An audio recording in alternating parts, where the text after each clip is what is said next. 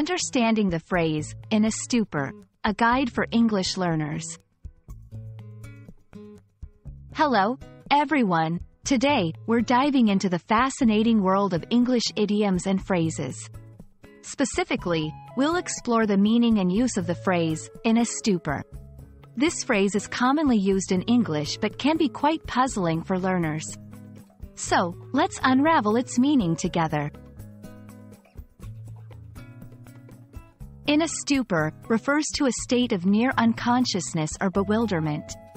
It's often used to describe someone who is not fully aware of their surroundings, usually due to shock, illness, intoxication, or extreme fatigue.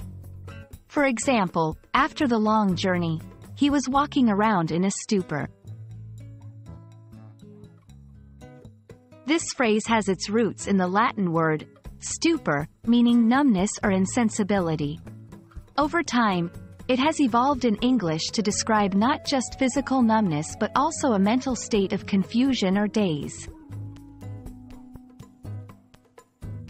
Let's look at some examples to understand how to use this phrase in different contexts. 1. After hearing the shocking news, she sat in a stupor, unable to respond. 2. The medicine left him in a stupor for hours. 3. Exhausted from the marathon, the runners were found in a stupor at the finish line. Other phrases and words with similar meanings include dazed and confused, in a daze, lethargic, bewildered.